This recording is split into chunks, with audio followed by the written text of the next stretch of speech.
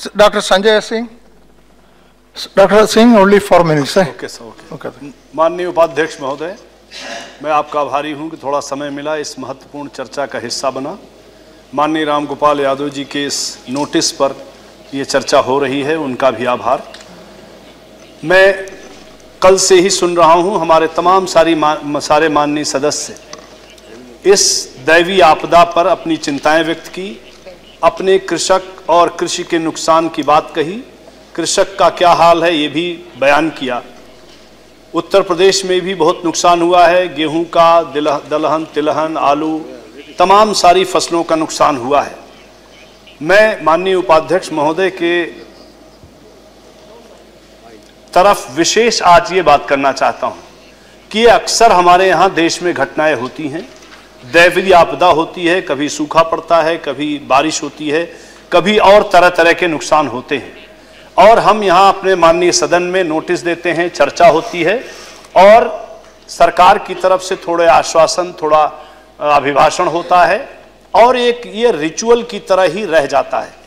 मैं माननीय मंत्री जी से माननीय उपाध्यक्ष जी के तरफ़ से मैं निवेदन करना चाहता हूँ सरकार से भी बहुत बड़े बड़े आश्वासन देकर, बहुत बड़े बड़ी बातें करके वर्तमान सरकार आई है।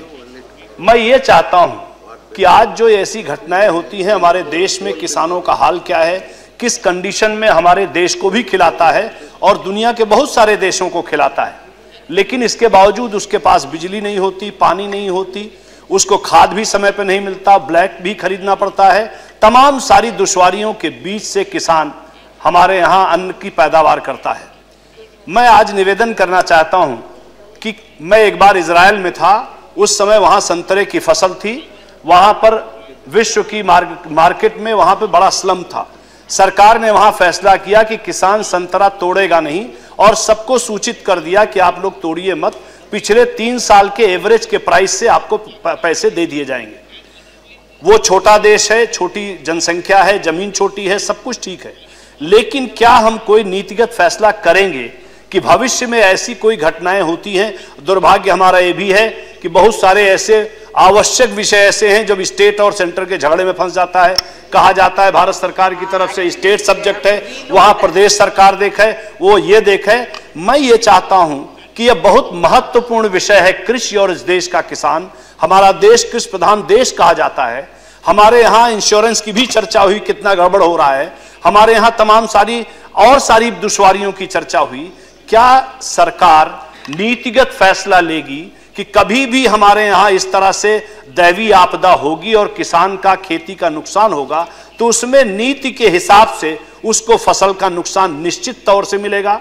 उसको ये तय हो जाएगी, उसका अगर उसके ऊपर लोन है, उसको नहीं अगर माफ़ किया जा सकता, कुछ दिन के लिए वेवर हो सकता है। ये तमाम सारे मैं निवेदन करूँगा माननीय उपाध्यक्ष जी से कि इस महत्वपूर्ण विषय पर सरकार क्या कोई नीतिगत व्हाइट पेपर निकालेगी और ये भविष्य में हमारे देश के, प्रदेश के किसानों को आश्वस्त करेगी, विश्वास दिलाएगी कि भविष्य में ये निश्चित होगा कि ऐसी घटना होगी तो उसको इतना नुकसान मान लिया जाएगा और उसको आकलन करने के बाद उसको फैसल फ़सल का नुकसान दिया जाएगा।